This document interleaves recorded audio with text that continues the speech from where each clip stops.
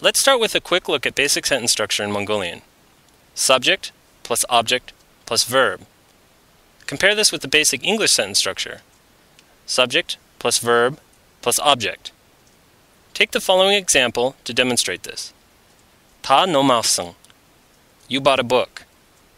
Notice the reversal of the object and verb from Mongolian to English. This basic sentence structure is the foundation of all sentences in Mongolian. With that understanding of basic sentence structure, we can start turning sentences into questions. When constructing a yes-no question in Mongolian, you add a question particle to the end of a sentence. These particles are yo, you, o, and u.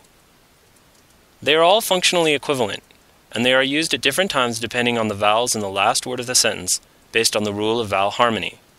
They all convey the same meaning, which is to express a statement has become a question. For example, using the previous sentence, ta no mausung, to turn the statement into a question, we just have to add one of those four particles. Because ausun contains the male vowel a and ends in a consonant, we use the particle o. Ta no mausno. Again, which question particle you use depends on the vowels in the last word of the sentence. Each particle is matched with its respective male and female vowels. This is a pattern that is present everywhere in Mongolian. Remember that male and female have nothing to do with gender. It is just a classification method introduced by linguists many years ago. Note that when the last word of a sentence ends in a single vowel or a consonant, the particles o and u are used. Examples awo or unigu. When the last word of a sentence ends with two vowels, then the particles yo or you are used. Examples harayo or shireyu. Also note that the particles naturally attach themselves to the last letter of the word preceding the particles. So you do not say av o with the word and the particle enunciated separately, but rather avo with the particle attached to the last letter. A good example of this is the greeting sanbano. It is not pronounced san ban o with the final question particle on its own, but rather with it attaching itself to the n at the end of ban.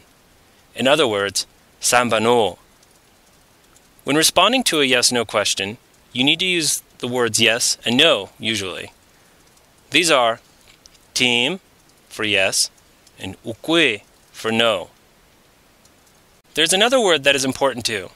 It is the negation word for adjectives and nouns. It is the word bish. It is similar to not in that you use it to express meanings such as not beautiful or not a book. For example, in nomo, is this a book? Ukwe, ennom bish. No, this is not a book.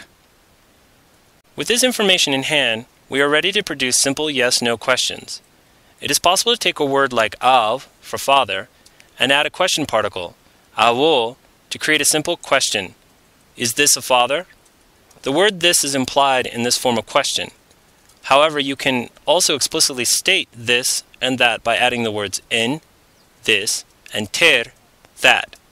For example, in awo, is this a father? Terawo, is that a father?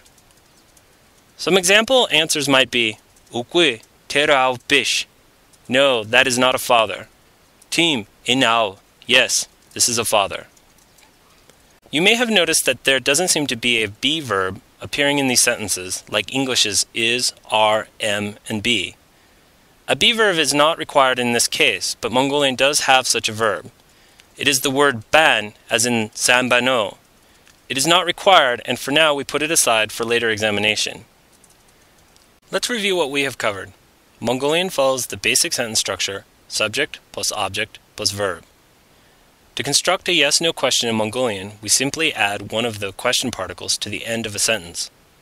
Which particle to use is dependent on the vowels in the word directly preceding the particle.